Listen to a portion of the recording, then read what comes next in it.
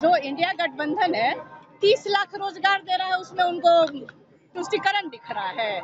किसानों की आय दुगनी करने की हम बात कर रहे हैं, हम एमएसपी लागू करने की बात कर रहे थे इनको तुष्टिकरण नज़र आ रहा है। आज बेटे के लिए वोट मांगने गए थे। काहे नहीं परिवारवाद पे बोले। वो बंद हो गया प्रधानमंत्री जी का। इलेक्ट्रॉल बॉन्ड पे कौन जवाब देगा? जब आते हैं वो हमारे परिवार पे आरोप लगाते हैं भ्रष्टाचार का। जानते हैं कितना बड़ा भ्रष्टाचार है। अगर देश की जनता ने कहीं हमें मौका दे दिया इंडिया गठबंधन को प्रधानमंत्री से लेकर के जितने भी भाजपा नेता हैं, जेल के अंदर बंद हो